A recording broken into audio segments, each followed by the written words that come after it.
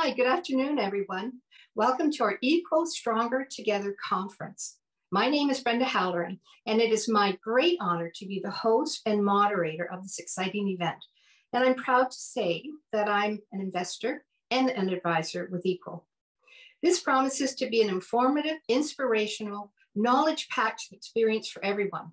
And I must admit that I'm feeling a bit starstruck to be able to introduce the speakers and panelists today many of whom I've been waiting and wanting to meet and listen to and learn from. We have an amazing afternoon ahead of us.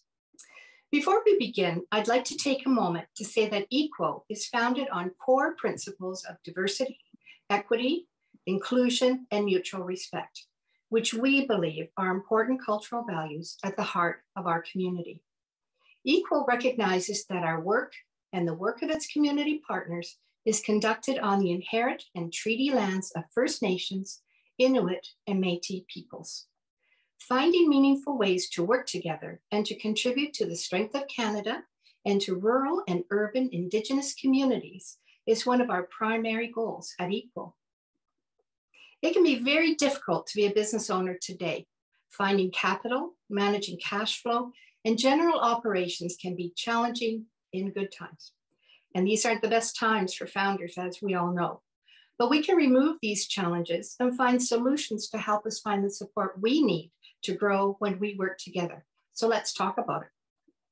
As I said, welcome to the first inaugural eQuo Stronger Together conference.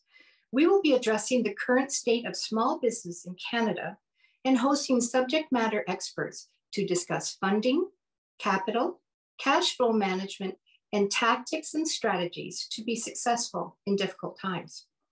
We will also hear the journey of three companies and what they've experienced and learned along their way.